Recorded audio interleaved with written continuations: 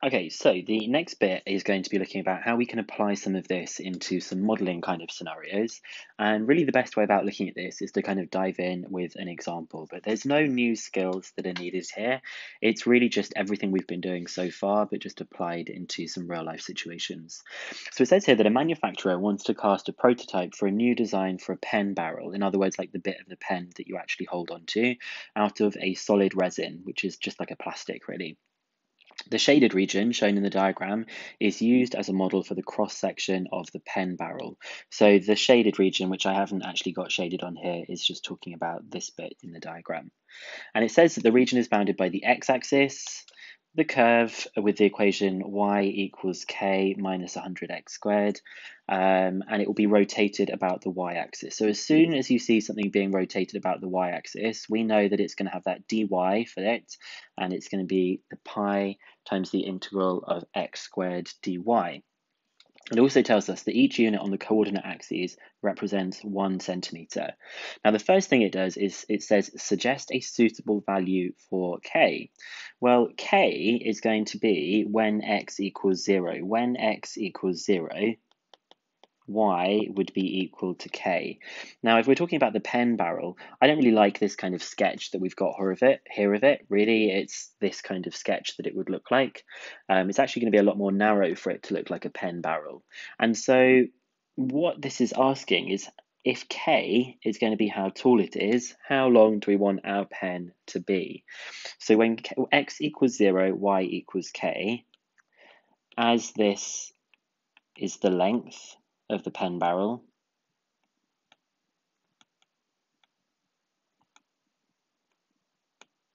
A value a value, I don't know, maybe a pen is probably between 10 centimeters and 15 centimeters seems sensible.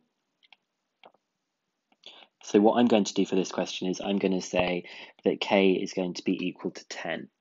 And now when I've set k equal to 10, that is where this diagram comes from. This is actually the equation y equals 10 minus 100 x squared. And you can see it looks a lot more like a pen shape. This one doesn't look at all like a pen. This one actually looks like a pen that you might hold on to. So they'd probably accept any value here of k between 10 and 15.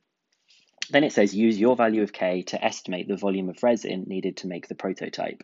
So this is pretty straightforward. We're just going to be using the formula that we had at the top of the page, which is pi x squared dy. And it's pretty obvious that for the rotation, it's going to be between 0 and 10 on the y-axis.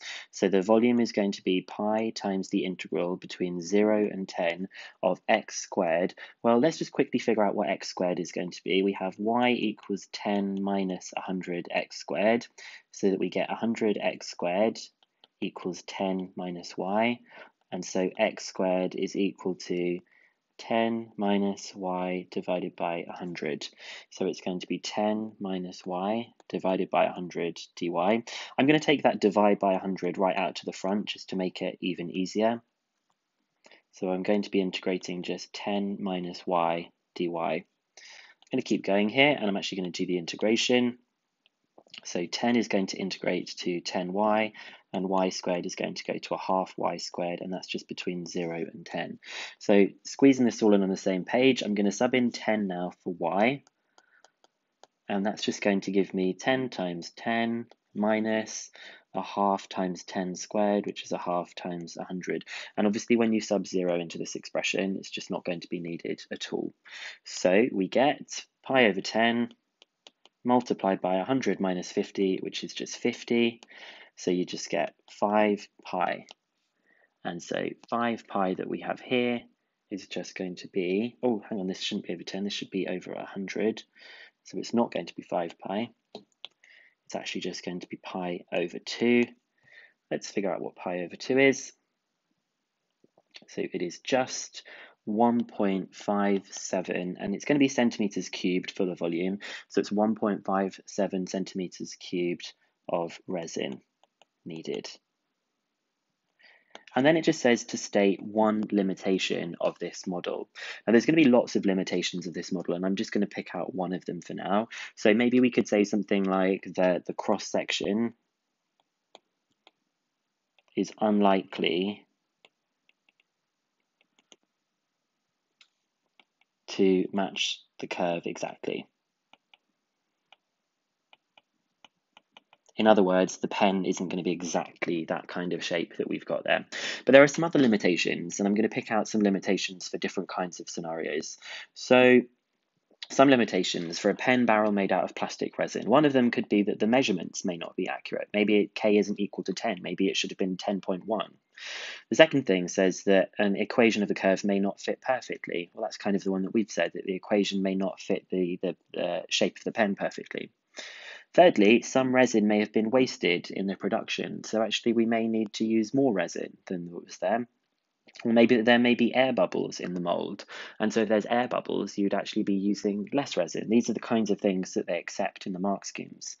And then what I've done is I've gone and have a look um, at a couple of other questions, and I've picked out from the mark scheme what limitations that they accept. So you can see this one also they reuse for a bird bath being modelled in concrete, which is actually going to be the next one we look at.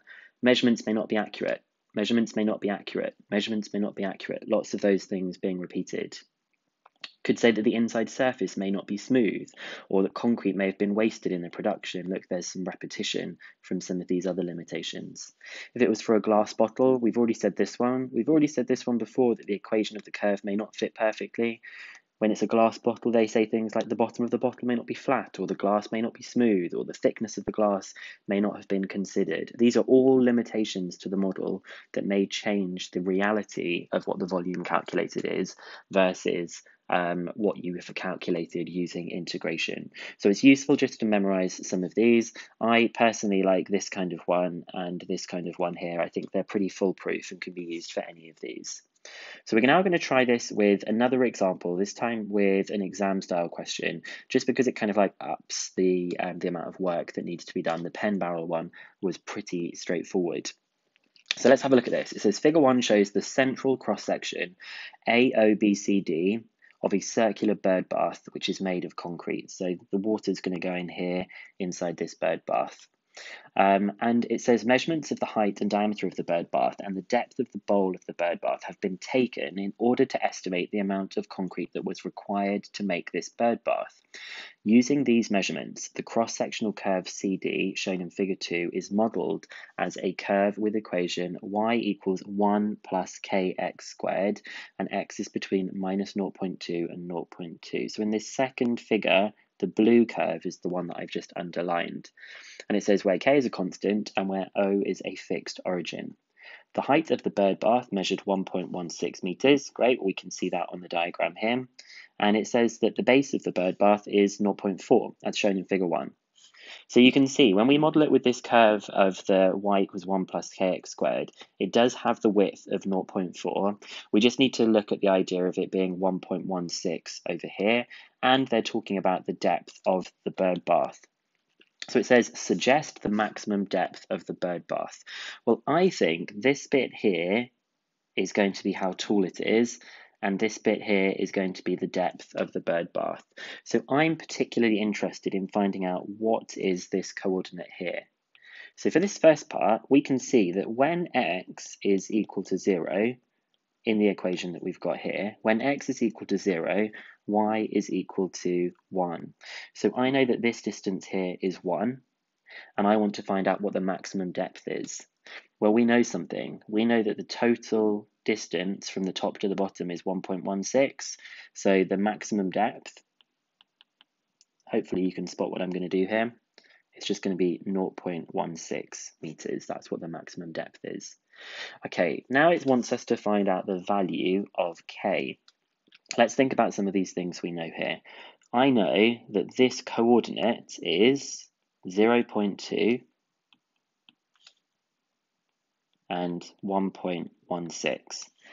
If I have a coordinate and if I have an equation, I should just be able to sub these coordinates into here and it should tell me what k is equal to. So let's have a go with that and see if that works. So we get that y equals 1 plus kx squared. I'm going to sub in the fact that when x is equal to 0.2, y is equal to 1.16. So 1.16 equals 1 plus k times 0.2 squared. So 1.16 minus 1, that's 0.16, equals 0.2 squared, which is 0.04 k. And so k is going to be 0.16 divided by 0.04, which is 4. And so k is equal to 4. Now, it says, hence find the volume of concrete that was required to make the bird bath according to this model, giving your answer in meters cubed correct to three significant figures.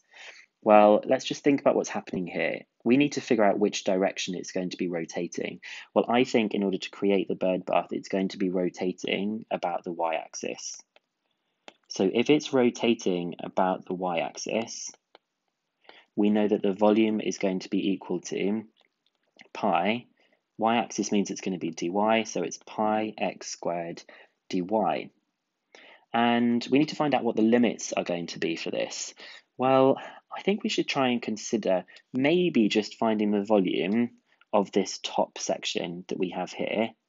And then what I think we can do is we can subtract it from the cylinder. So let's say what our strategy is going to be here. I think that our strategy is going to be the volume of the cylinder subtract the volume of the bowl part. And this is going to be the formula for the bowl part. So let's start off by finding the volume of the cylinder. Now the volume of a cylinder we know is just going to be pi r squared h. So let's just check that we remember what the values are going to be. The radius is going to be 0.2 and the height is going to be 1.16. So we're going to have pi multiplied by the radius squared multiplied by 1.16. So let's do our 0.2 squared times 1.16 and we get 29 over 625. So 29 over 625 pi. Now what we're going to do is we're going to use this to do the volume of the bowl part. So we need to figure out what x squared is. Now we know that y equals 1 plus 4 x squared. So I'm going to rearrange this so I get y minus 1 over 4 is equal to x squared.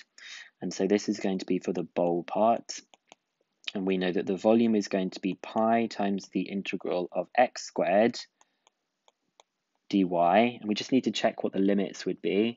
So the limits are going to be between this value, which is when y is 1, and this value when it's at the top, which is when y is 1.16. So it's going to be between 1 and 1.16 dy. Now I like to bring out that 4 to the front, so I have pi over 4, the integral between 1 and 1.16 of y minus 1 dy. And I'm just going to go and do that integration now. So that's pi over 4. It's going to be a half y squared minus y between 1 and 1.16. Let's just sub in these values nice and quick. So 1.16, 1.16 squared divided by 2 minus 1.16. Okay, minus 609 over 1250. In fact, it's probably going to be easier if I just do that as a decimal. Minus 0.4872. Sorry. Minus 0.4872. And then when I sub in 1, it's just going to be a half minus 1. So simplifying some of these bits here, Again, I could just go straight in with the calculator because it wants it rounded to three significant figures, but I kind of like doing it in exact form. Um, well, for the second part here, a half minus 1 is minus a half, so it's going to be this plus a half. So let's say it's minus 0.4872 plus a half which is 8 over 625. So it's 8 over 625.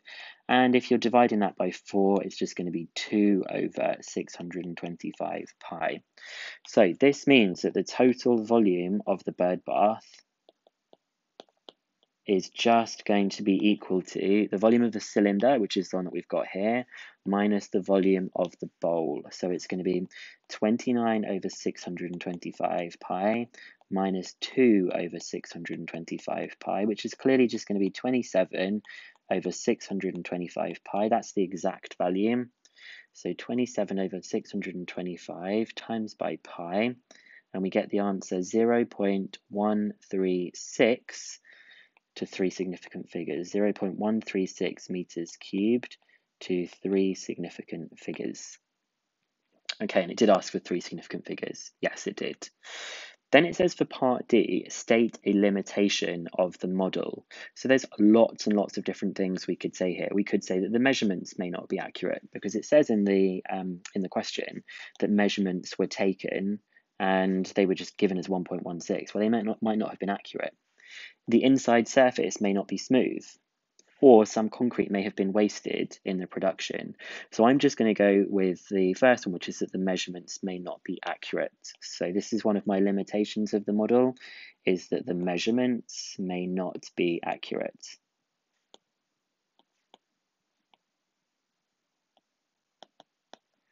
And then we're going to have a look at the last part of the question where it says it was later discovered that the volume of concrete used to make the bird bath was 0.127 meters cubed, correct to three significant figures. Remember, ours was 0.136 meters cubed. Using this information and the answer to part C, evaluate the model explaining your reasoning. So that means compare the one that they've told us is the true one and the one that we've worked out in part C. When it says to evaluate the model, basically it's saying, is this a good model or not a good model? Well, these are pretty far apart from each other. If I do 0.136 divided by 0.127, you can see that it's 7% bigger than it. So it's not very close. So I'm going to say that these are not very close to each other. I'm going to say for part E, the value 0.127 and 0.136 are not very close. In fact, we could say the value we calculated is 7% larger. And so the model is not very good.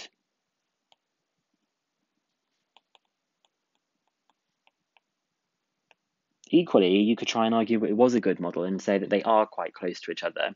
But really, I think it's better to say that this model needs some refining, that there's more that this model needs to be able to do here. So let's check the mark scheme and see what happens. So we got that the depth was 0.16, which we got. The value of k was 4. All of these calculations here is that's what we got for the actual answer 0.0432 we had it in its fractional form but we could have done the whole thing in decimals to get to this any one of these. We mentioned these earlier on in the question.